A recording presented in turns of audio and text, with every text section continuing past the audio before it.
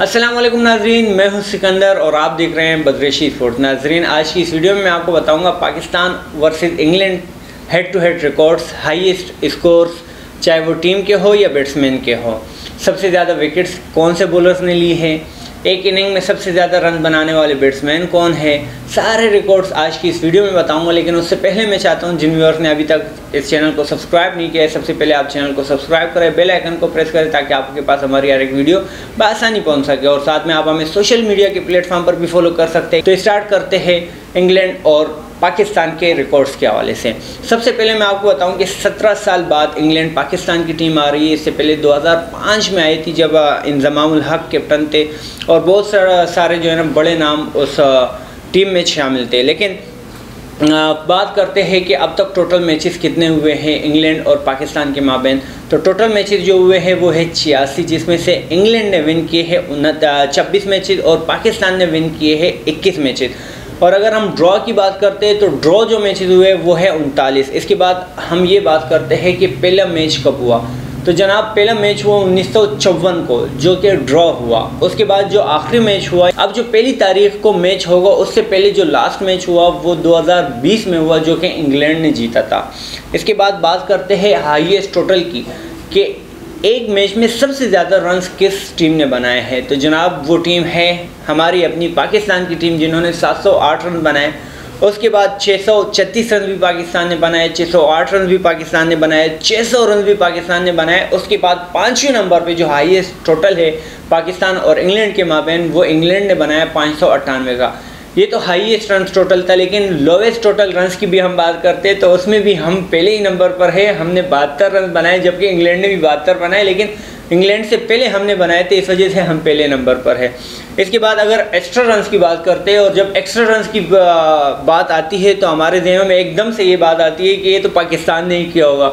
लेकिन इस दफ़ा हरगिज़ ऐसा नहीं है पाकिस्तान ने एक्स्ट्रा रन सबसे ज़्यादा नहीं दिए, बल्कि इंग्लैंड ने सबसे ज़्यादा एक्स्ट्रा रन दिए, और वो है तिरपन। जबकि पाकिस्तान ने जो एक्स्ट्रा रन दिए हैं, वो है अड़तीस। इसके बाद अगर हम बात करते हैं कि एक इनिंग में सबसे ज़्यादा रन कौन से बेटर ने बनाए तो जनाब इस दफ़ा इंग्लैंड बाजी ले गए, और इंग्लैंड के बैट्स बेटर है कॉप्टन जिन्होंने दो रन बनाए, जबकि पाकिस्तानी जो बेटर है, उन्होंने दो सौ चौहत्तर रन बनाए एक इनिंग में, जो कि जहीर अब्बास है। इसके बाद अगर हम मोस्ट रन्स बाय प्लेयर की बात करते हैं कि सबसे ज़्यादा रन बनाने वाला प्लेयर कौन सा है, वो कौन सा बेटर है जिन्होंने सबसे ज़्यादा रन बनाए हैं? तो इस दफ़ा, एक दफ़ा फिर इंग्लैंड की टीम बाजी ले गई और कुक है जिन्होंने 20 में बीस मैचेस में 36 इनिंग में 1719 रन बनाए, जबकि दूसरे नंबर पर इंजमाम हैं। जिन्होंने 19 मैचेस में 32 इनिंग में पंद्रह रन बनाए। इसके बाद अगर हम बात करते हैं, सबसे ज़्यादा सेंचुरी लगाने वाला बेटर कौन है? तो इस दफ़ा पाकिस्तान की टीम ये बाजी ले गई और सबसे ज़्यादा जो सेंचुरी लगाने वाले बेटर है, वो है मोहम्मद यूसुफ, जिन्होंने छः सेंचुरी लगाई, जबकि इंग्लैंड की तरफ़ से जो है, वो है कुक, जिन्होंने पाँच सेंचुरी लगाई। लेकिन कुक से पहले भी पाकिस्तानी बैटर्स मौजूद है। जिन्होंने सबसे ज़्यादा सेंचुरी लगाई, जैसे कि मैं आपको नाम लेता हूँ जमाउल हक की, उन्होंने कुक से पहले पाँच सेंचुरी बनाई है।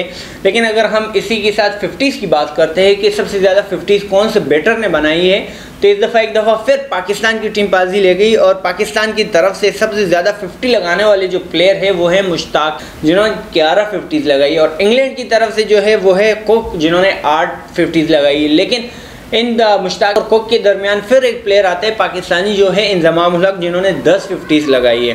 अगर हम बात करते हैं सबसे ज़्यादा विकेट्स लेने वाला बॉलर कौन है तो वो भी पाकिस्तान के साथ है और ये बाजी भी पाकिस्तान लेकर चला गया और पाकिस्तान के अब्दुल कादिर ने सबसे ज़्यादा विकेट्स लिए बयासी विकेट्स लेने वाले पहले बॉलर है, जो कि अब तक इंग्लैंड और पाकिस्तान के माबेन सीरीज़ हुई है। उसमें बयासी विकेट्स लिए, जबकि दूसरे नंबर पर जेम एंडरसन है, जिन्होंने चौहत्तर विकेट्स लिए। और मैं आपको ये बताता चलूँ कि जेम एंडरसन पाकिस्तान के खिलाफ एक नया रिकॉर्ड बना सकता है कि वो अपने नाम से फेरिस करे और अगर इस तीन मैचेस में वो नौ से दस विकेट्स ले लेते हैं तो वो चौहत्तर विकेट्स उनकी चौरासी विकेट्स में तब्दील हो जाएगी। अगर नौ भी लेते हैं तो तिरासी हो जाएगी और अब्दुल कादिर जो है ना, वो एक नंबर नीचे आ जाएँगे और सबसे ज़्यादा विकेट्स लेने वाले बॉलर जेम एंडरसन बन जाएँगे। अगर ये वीडियो आपको पसंद आती है और आप समझते हैं कि इससे पहले इतने रिकॉर्ड्स के हवाले से आपको पता नहीं था तो लाइक ज़रूर बनता है इस वीडियो पर। और उम्मीद करता हूँ सब्सक्राइब आप अब तक कर चुके होंगे और अगर नहीं किया तो सब्सक्राइब भी लाजमी करेगा इन मिलेंगे अपनी अगली वीडियो में नई इन्फॉर्मेशन के साथ। जब तक के लिए मैं आप सबसे इजाज़त चाहता हूँ। अल्लाह हाफिज़। Thank you so much